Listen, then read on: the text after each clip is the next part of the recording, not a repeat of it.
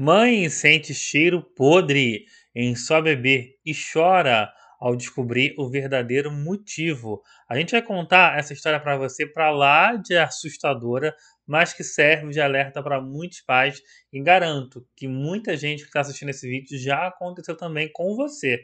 Antes, um recado rápido para quem ainda não é inscrito aqui no canal. Para fazer isso é rápido e fácil, é só clicar no botão vermelho da inscrição ajuda a gente a fazer o nosso trabalho. Minha gratidão.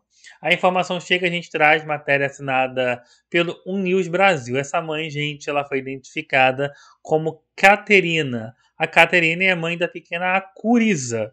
A menina, gente, tomava banho, mas mesmo assim a mãe sentia um cheiro fedorento na filha, um cheiro de podre mesmo, e ela não entendia. Por mais que ela desse banho na garota, aquele cheiro continuava na criança.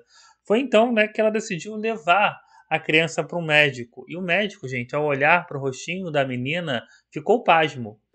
Na mesma hora, ele viu que tinha algo errado, começou a examinar e retirou um item bem estranho do nariz da menina. Havia uma espécie de esponja de banho podre no nariz da garota. E a mãe não conseguia tirar porque estava muito profunda essa esponja. Só realmente um médico com utensílios ali próprios para isso é que conseguiu fazer tudo isso. Mas olha como serve de alerta para a gente sempre ficar de olho nos pequenos, né? Porque pode sempre acontecer uma surpresa como essa.